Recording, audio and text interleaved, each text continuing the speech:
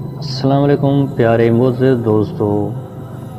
आज की इस वीडियो में हम उन मर्दों के बारे में ज़िक्र करने जा रहे हैं जो किसी लड़की से शादी नहीं करना चाहते, किसी लड़की को पसंद नहीं करते, फिर उसके बाद शादी भी कर लेते हैं।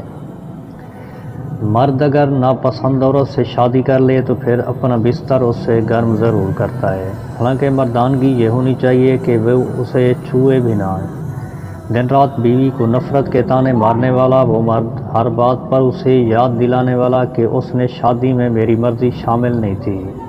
तो फिर चंद बदबूदार कत्लों के खैराज के लिए सब भूल जाता है। क्या यही उसकी मर्दानगी है? मुझे नहीं लगता ऐसा इंसान मर्द हो सकता है।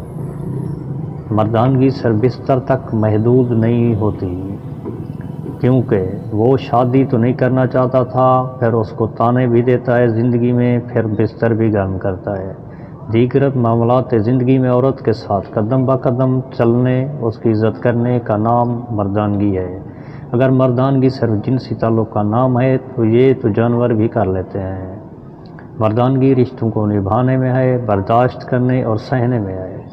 बेहतरीन मर्द वो है जो घरेलू ज़िंदगी में हसन सलूक और मोहब्बत व बर्दाश्त का मुजहरा करे, वरना मर्द होने का जम ना दिखाए, क्योंकि अगर उसके खाना ज़िंदगी महज बिस्तर तक महदूद है तो उसे मर्द कहलाने का हक तो दूर इंसान कहलाने